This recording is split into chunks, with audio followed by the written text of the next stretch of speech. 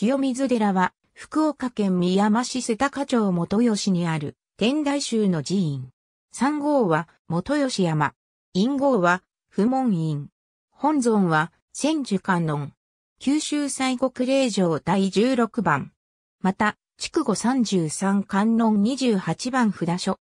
自伝によれば、平安時代初期の806年、唐から帰国して間もない最長は、一話の記事の導きで、清水寺のある山に分け入り、ネムの霊木を見つけたという。最長はこのネムの流木を刻んで2体の千手観音の木像を作り、うち一体を京都の清水寺に安置。もう一体を安置する道をこの地に創建したのが当時の起源であるという。柳川藩藩主、田中忠政の治世中と推察されている資料、田中地区後主殿下人数な道行府町に54国にと清水寺とある。また、遠方旧、鳥年地行鳥無足淵方ともに、同54国にと清水寺とあり、藩内寺社では13位の位置づけで、県人寺のもと、水田天神宮車両の上に記載されている。1745年には、当時の柳川藩藩主、立花貞則が元首となって、三門が建立され、1836年には、三重島が落成した。三門三重島本道平安時代の延暦23年7月が木部天皇の命により38歳の最長は、遣唐使として、唐で天大学を学んだ。最長は帰国した翌年の大道元年に元吉山清水寺を創建したと伝えられている。伝行大師作の本尊、千手観音が安置されている。古来より安山、小授け、縁結びの祈りが絶えない。ヨガンノン、朝ガンノンは本尊外長の大祭である。8月9日から10日の朝にかけて第五巻祷が行われ、この日にお三景ですると4万6千日をお参りした苦毒があると言われ、多くの参拝者が訪れる。本堂の左側には阿弥陀堂の建物が鎮座してある。三門この三門は、延教2年年柳川六代藩主、立花貞則が元首となり京都の大工、高田茂虫に命じて建立されたものである。三門は三門というのが本当で、木造入りもや二層、会場階下とも36.3平方メートル、高さ10.8メートルである。当時の建築技術の域を集めて作られ、会場の内部は見事な作りで、文殊菩薩、釈迦如来、四天皇などが祀られている。建築当初は傾いていたが、木材の乾燥とともに垂直になったと伝えられている。造営当時は、日和田吹きであったものが現在では銅板に吹き替えられている。昭和36年県指定重要文化財。仁王門延教3年、藩主藩民の寄進によって建立された。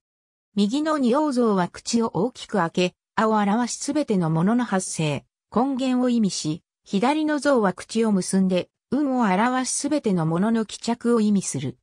寺院上域の入り口にあり、仏法を守護する役目を持つ、金剛力士の像を安置したもんで、仁王像の高さは約2.4メートルある。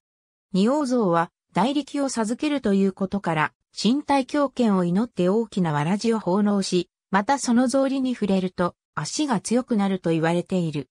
三重の塔三重の塔の前身クリン塔は1779年の創建で、単層の登場に、聖堂のクリンを備えたもので、瀬高地方出身の長崎丸山の遊女の寄進で建てられたと伝えられる。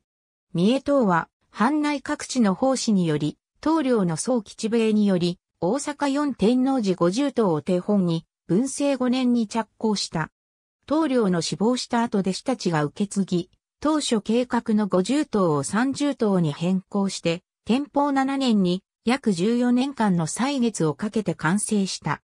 塔の入り物式は、天保15年11月23日半内の僧侶全員を集めて、盛大に催され、250両の費用を使ったと言われている。美しい自然の中に佇む朱塗りの塔は、清水寺のシンボルとして広く知られている。古代建築の九州最古随一のものである。昭和32年県重要文化財。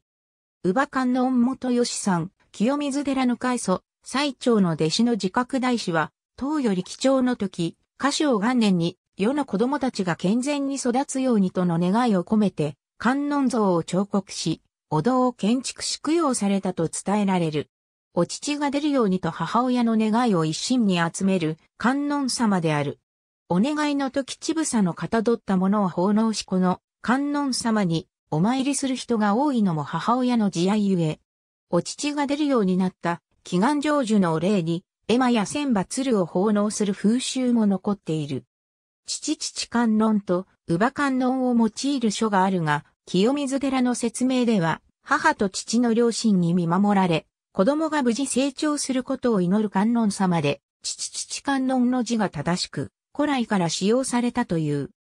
仙台仏道柳川藩主、田中義政の家来、林五郎左衛門の娘、三沢は、婿養子の婚約者育之助が、宮川右内に船小屋で鉄砲で殺されたのを、尻敵討ちを、決断16歳の時である。家を出て10年目元那7年四国の徳島で、宮川右内を探しやっと亡き夫の仇を取った。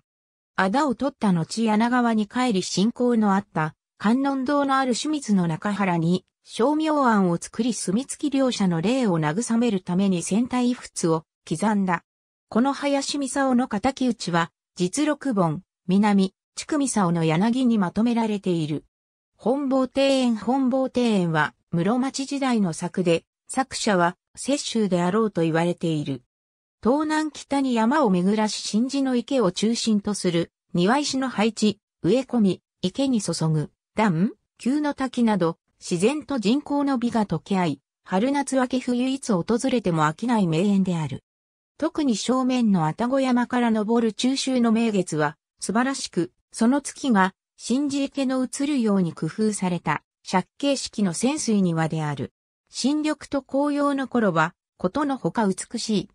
本坊前には大きな銀杏樹があり、紅葉時期には黄色の絨毯で敷き詰められる。傍らに北原白州寺室による石踏みが立っている。父小石母小石でこの生地は赤と青とも染められにけり。ありがとうございます。